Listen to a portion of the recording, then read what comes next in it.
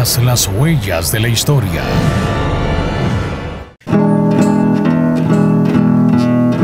Ibas muy contenta del brazo del hombre,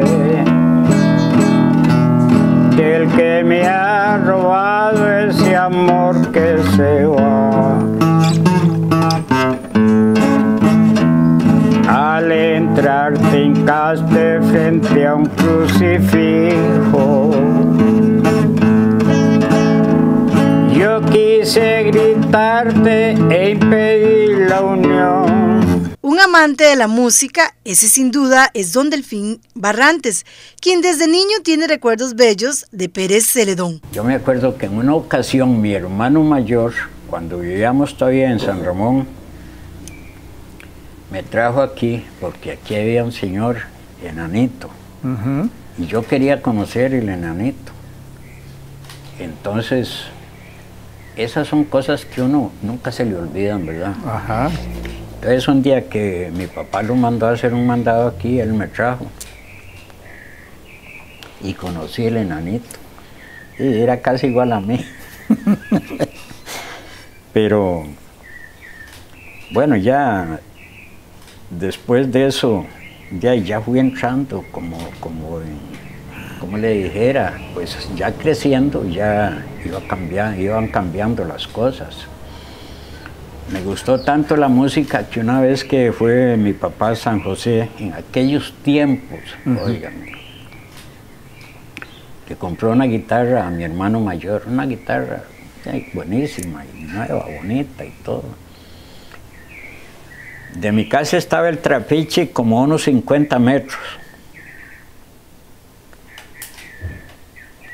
Y yo tenía la costumbre de que cuando mi hermano llegaba del trabajo y se bañaba y todo eso, se lavaba las manos, bajaba la guitarra que la tenía así colgando un clavo, le quitaba un saco de, manta donde la tenía guardada y se ponía a tocar. Pero vea, yo me paraba así al frente de él.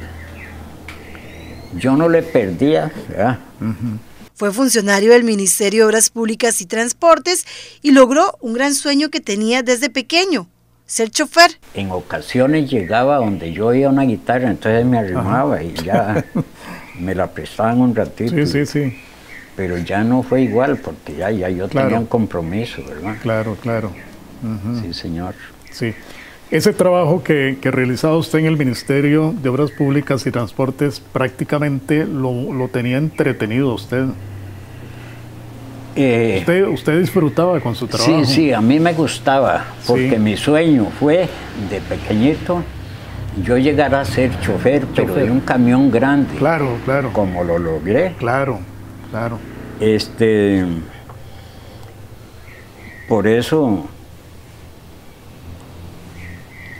eh, me animo a decirlo, tuve la bendición de ser un, un trabajador aquí, con, ¿me entiende? Claro, Poniéndole, claro. Porque a mí me gustaba el trabajo. Claro, claro. Uno disfruta. Sí, y después yo trabajé los 30 años, 16 años fui vagonetero y 14 cargadorista. Y ahí cuando, cuando era cargadorista, pues yo alistaba el material en el tajo, cargaba las vagonetas que se iban a tal vez a media hora o a más. Y allá yo ahí, alistaba otra vez la carguita y ahí está un testigo mío. Ya con 91 años se siente complacido y lleno de mucha energía. Me faltan cinco meses Cinco para meses. los 92. Ah, de veras. Sí, señor, Bien vividos, bien vividos. ¿verdad? Pero luce, luce impecable usted, don Delfín, ¿verdad? Bueno, sí, de salud estoy muy bien. Está muy bien. Yo no puedo decir otra cosa porque sería ofender al que me tiene así al Señor. Sí, claro. Sí. ¿Dónde nació este don Delfín? Perdón. ¿Dónde nació?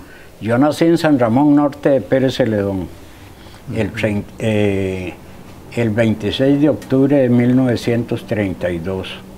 Conozca más del relato Don Delfín este martes 15 de agosto a las 8 de la noche en TV Sur Pérez Celedón y también a través de www.tvsur.co.cr y la página en Facebook de TV Sur Pérez Celedón.